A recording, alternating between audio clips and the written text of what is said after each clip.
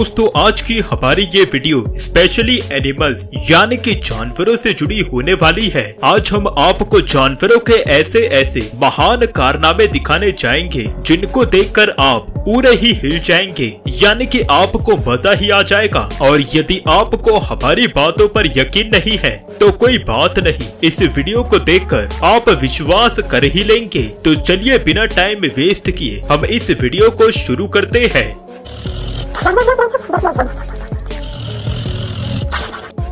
चैन से सोने भी नहीं देता। चोर बाज़ार का सस्ता जनरेटर देखो यार गुस्सा तो सबको आता है चाहे वो इंसान हो या फिर जानवर ही क्यों ना हो। और अगर आपको यकीन नहीं है तो जरा आप इस क्लिप को देखें।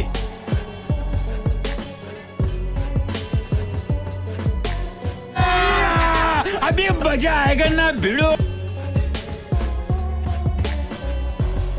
मिल गई शांति। मतलब कि यार बेचारा चुपचाप बैठा हुआ था। चुपचाप बैठा बैठा सब कुछ सह रहा था। लेकिन आखिर कब तक? मस्ती की भी एक हद होती है। लेकिन हाँ इस हरकत के बाद तो शायद मुझे नहीं लगता कि कभी ये अपने डॉग के साथ ऐसा मज़ाक फिर से करेगा। देखो यार, संगत का असर बहुत ज़्यादा होता है। वैसे आपके घर पर भी, आपके घर वाले बोलते होंगे कि तू उसके साथ बैठा रहता है ना? इसलिए बिगड़ गया है।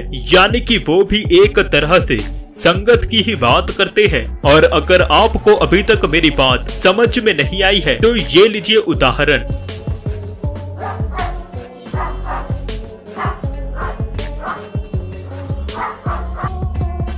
इसे बोलते हैं संगत का असर, यानी कि कुत्ते की आवाज़। पक्षी निकालने लगे। भाई, मुझे तो लगता है कि अब ये थोड़े दिनों बाद हम इंसानों की तरह बोलने भी लगेंगे। बस आप देखते जाओ। चलो यार, अच्छे कपड़े पहनना और साफ़ सुथरे रहना, ये तो बहुत अच्छी बात होती है। लेकिन हमें देख कर तो अब ये जानवर भी हमारी सारी कला सीख गए हैं। जरा आप खुद ही देखिए।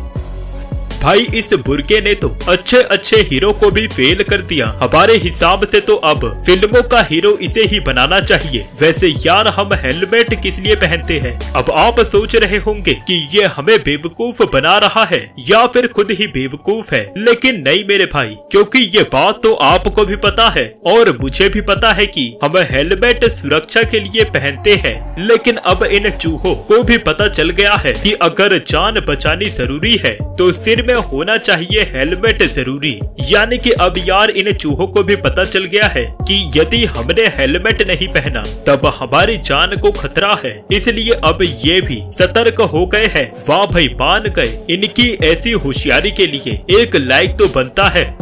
वैसे यार कुत्तों की एक आदत बहुत बुरी होती है। आधों को तो मेरे बोलते ही पता चल गया होगा कि वो कौन सी आदत है, लेकिन जिनको नहीं पता चला है, अब उनको बता देते हैं। भाई टॉयलेट करने की, यानी कि यार एक टांग ऊँची की, और कर दिया वन टू का फोर फोर टू का वन कर दी ना मौज मतलब यार ये आंटी जी तो मोबाइल चलाने में बिज़ी थी, और इतनी ज़्यादा व्यस्त थी कि डॉग महाशय ने इनका शुद्धिकरण भी कर दिया, और उनको पता भी नहीं चला। लेकिन जैसे ही पता चला तो फिर इनके होश ही उड़ गए। लेकिन किसी महापुरुष ने कहा है कि अब पछताए होत क्या? जब चिड़िया चुभ गई खेत बहुत सारी चीज़ें ऐसी होती है, जिनको देखकर हम भी उनके जैसा ही करने लग जाते हैं, यानी कि एक्टिंग करते हैं। जैसे कि आप इस प्यारे से कछुए को ही देखें, ये कैसे पानी के अंदर बाहर खड़े हुए लड़के जैसी एक्टिंग कर रहा है। वाकई में यार, इस दृश्य को देखकर तो आज दिल से बहुत अच्छा लगा।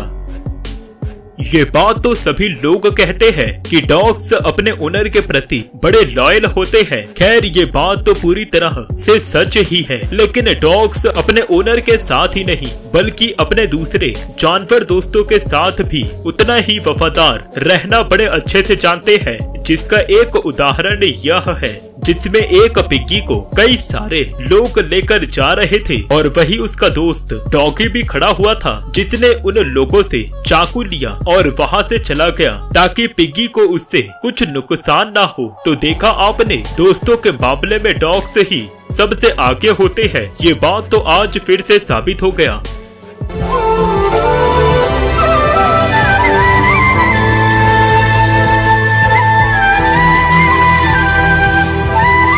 अब यहाँ पे ये छोटा कुत्ता पानी में आने से डर रहा था, लेकिन जैसे ही बड़ा कुत्ता पूल में कूदा, छोटा कुत्ता सीधे उसके ऊपर ही कूद दिया। खैर, भाई ने पीठ पर बैठने से पहले जो रॉकेट लॉन्च किया है, उसका तो एक अलग ही लेवल है।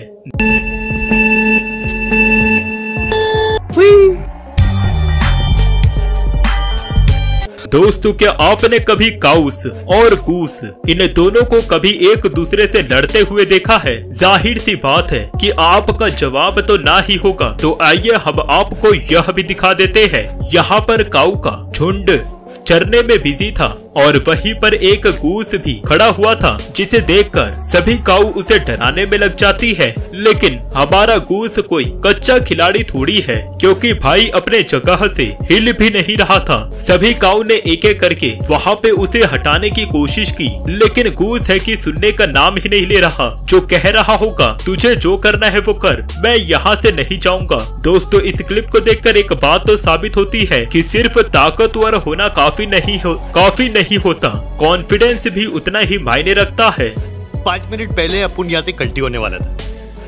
लेकिन किसी ने अपना हाथ पकड़ा और बोला यहाँ से जाने का नहीं। अभी तेरे को जो उखाड़ने का उखाड़ ले। अपुन यहाँ से नहीं जाएगा। फिर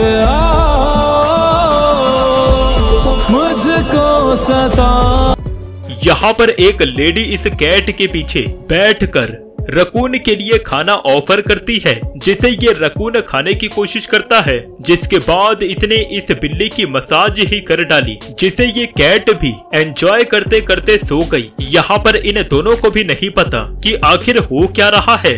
मालिश तेल मालिश तो क्या आप भी रकून मसाज लेना चाहेंगे? हमें कमेंट में ज़रूर बताएँ। आपको अगर कभी वक्त मिले तो इन स्ट्रीट डॉग्स को भी खाना ऑफ़र ज़रूर करना चाहिए, क्योंकि कई बार ऐसा होता है कि खाना ना मिलने की वजह से इन्हें ज़्यादातर भूखा ही सुना पड़ता है। और यह भी कहते हैं कि बेजुबान जानवर भूख लगने के बावजूद भी ये बात किसी को बता नहीं सकते। लेकिन यहाँ पर ये डॉगी इस दुकान में खड़े आदमी से कैसे खाना मांग रहा है, ये आप खुद ही देख लीजिए।